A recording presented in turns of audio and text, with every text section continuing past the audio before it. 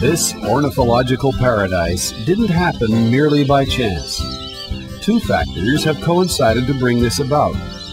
The conservationist approach that has been implemented on the Masaguaral Ranch for more than 50 years now, and the strategies that birds have developed to enable them to survive in these surroundings.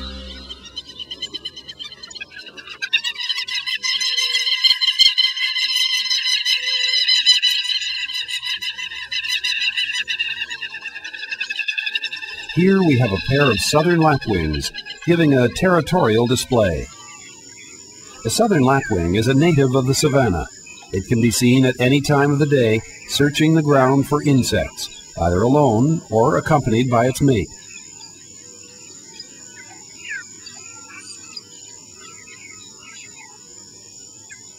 It can tolerate the fierce sun without the need to take refuge.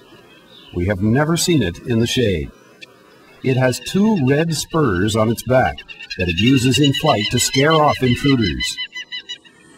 As we observed this pair, we concluded it was more than likely that they were about to lay their eggs or